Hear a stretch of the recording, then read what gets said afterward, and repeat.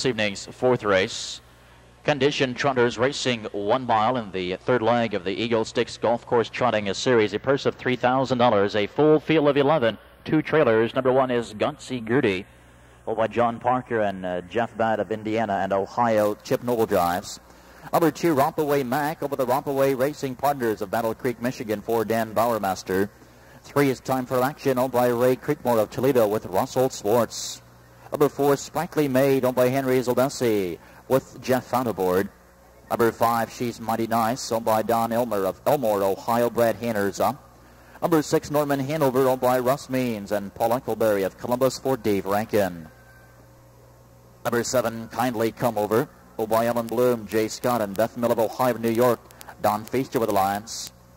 Number eight, Grand Debonair, owned by Jerry Grant of Pleasant Plain. Brent Holland gets the call. Number nine, Rum's last shot, owned by Franklin Reichert of Owensville. Trent Tharps driving. Number 10, Blazing Dia, owned by Andrew Price of Lockburn. Dale Miller in the bike. And number 11, Turtle Quick. Laced by Howard Teagarden of Daisytown, Pennsylvania. Dave Hawk in the sulky. And they're off from the far outside. Grand Debonair getting the first call. Gutsy Gerdie off the rail nicely is second. Sprightly Maid came away between horses. Third, slipping through on the inside. Fourth, Rum's last shot. Early five, Turtle quick on the outside and trotting uh, sixth comes Rompaway Mac. Seventh is Norman Hanover. Along the rail and trotting eighth time for action. Ninth on the inside, she's mighty nice. Two lengths, tenth.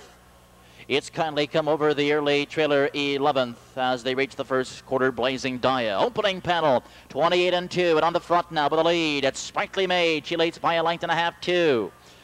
Grand Debonair on the inside is trotting a second. Here comes Gutsy Gerdie uh, with a quick move. She'll take the lead in Rum's last shot, squeezing out between horses.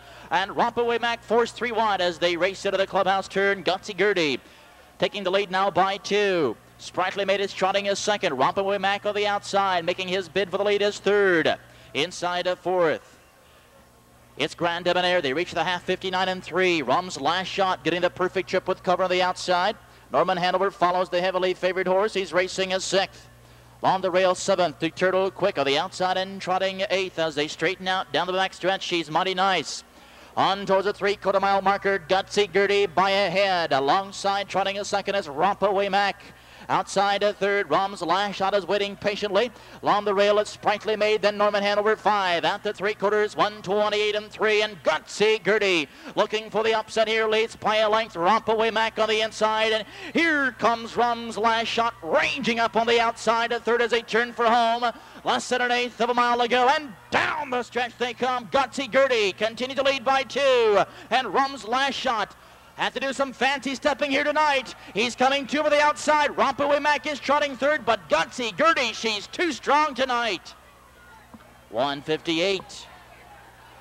One fifth.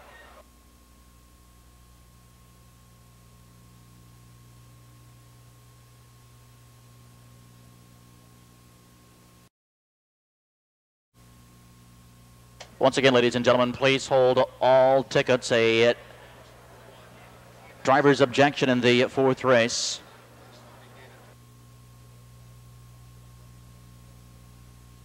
The driver of the two horse has launched an objection against the driver of the nine.